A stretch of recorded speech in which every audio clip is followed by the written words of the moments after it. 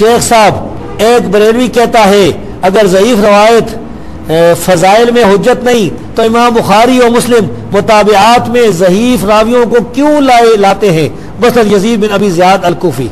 भाई, यानी मुताबियात ये कहते हैं ना, मिसाल के तौर पर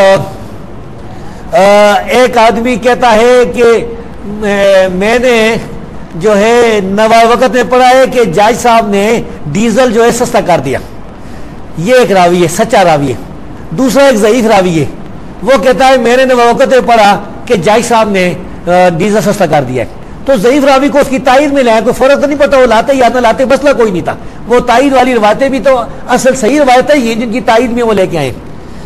तो ये इमाम बुखारी और मुस्लिम असल में नहीं लाए रवायतें ज़यीफ की। मैं ये पूछता हूँ बरेलियों से कि ज़यीफ रवायतें अगर हम पेश करना शुरू कर दें जब हम रवायतें हमारे पास भी तो बड़ी ज़यीफ रवाते आल हदीस के बाद में।